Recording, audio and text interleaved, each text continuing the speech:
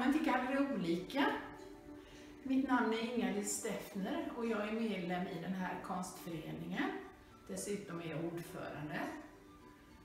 Eh, jag har vågat mig på att ha en utställning. Vi har inte haft några utställningar på hela året. Mest på grund av den här pandemin vi har. Men nu har jag vågat öppna upp och jag har lite olika restriktioner här, som att man helst inte ska vara mer än sex personer inne och servera fram lite handsprit.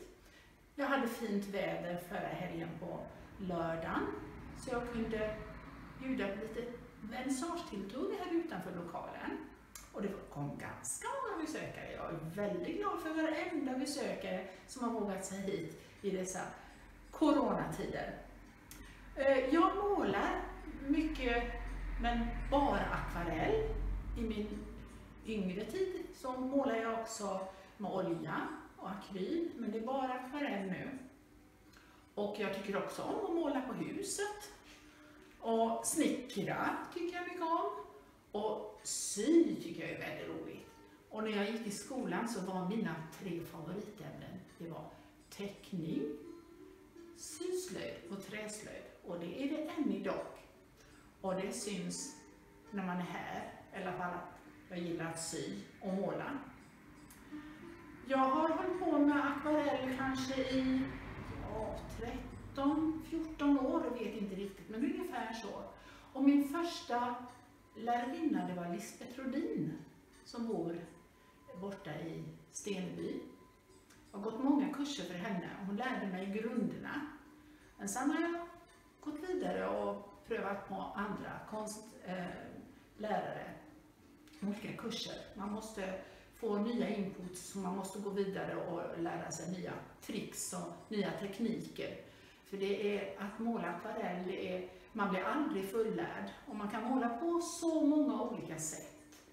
Förr sa man att det var bara ett visst sätt man skulle måla på, det var äkta akvarell. Men man kan göra precis hur man vill och det finns så många olika tekniker och man kan göra collage av gamla akvareller och det gör jag ofta också. Idag så visar jag motiv från västkusten. Både sånt som jag målar på plats och sånt som jag målar hemma. Jag har, förra året fick jag möjlighet att göra en resa till Lofoten med min man. Och vi bodde i en rorbur, en fiskebod, en hel vecka. Och det var jättefint väder och det var en fantastisk upplevelse.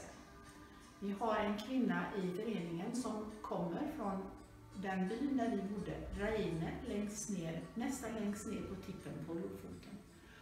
Och jag var hemma hos henne en gång och såg en bild från den byn och blev helt förhäxad och kände att dit måste jag. Och jag började planera två år innan hur min man skulle fylla 70 år. Så att den här resan blev sedan en 70-årspresent till honom.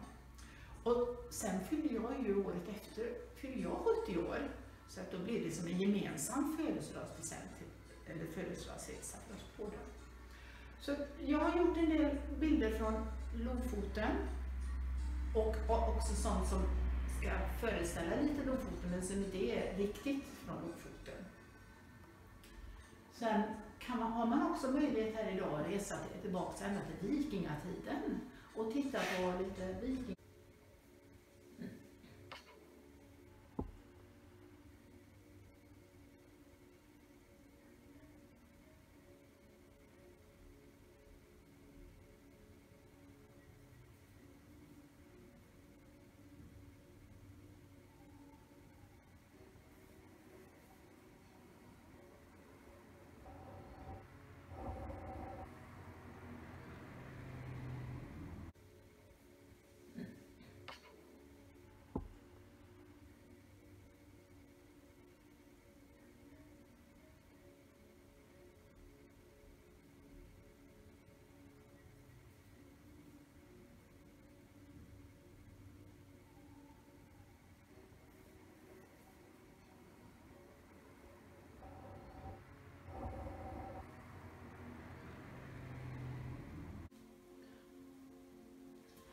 Ja, så vill jag ta med dig på en båtluff i Grekland. Nu när det inte är så lätt att resa i verkligheten. Jag och min man, vi tycker mycket om Grekland och i många år har vi varit ute och båtluffat. Sen barnen har flugit ur boet och vi kan rå oss själva. Ta ryggsäcken på ryggen och kasta oss iväg, flyga till en ö och sen därifrån ta båt ut till olika öar. Kanske inte veta var man ska bo. Utan man får se när man kommer fram till hamnen eh, vem man väljer av alla som står där och hyr ut rum. Och så hyr vi något enkelt ställe. Och så bor vi där på den ön, kanske två, tre nätter. Och så tar vi en ny båt och åker till en annan ö. Det tycker vi mycket om och jag är jätteglad för alla båtluffar vi har fått gjort. För nu vet vi ju inte om vi kan göra det längre. Sen blir man äldre, får lite krämpor i knän och så. så jag är väldigt tacksam för alla resor jag fått gjort. Får mycket inspiration, tagit mycket kort. Ibland kan jag sitta och måla, men eftersom min man inte målar så kan jag inte sitta eh, hur många timmar som helst på ett ställe och måla, för att då tycker han att det är tråkigt. Och då är det ju bra med kameran, då får jag ta kort och så får jag måla när jag kommer hem på hösten och vintern. Så jag kan ha fot, ett foto som inspiration, men sen försöker jag hela tiden att göra det till mitt, inte ha samma färger. Lägga till, dra ifrån, ändra på saker så att det inte liksom ser ut precis som fotot var, utan ha det som en inspiration.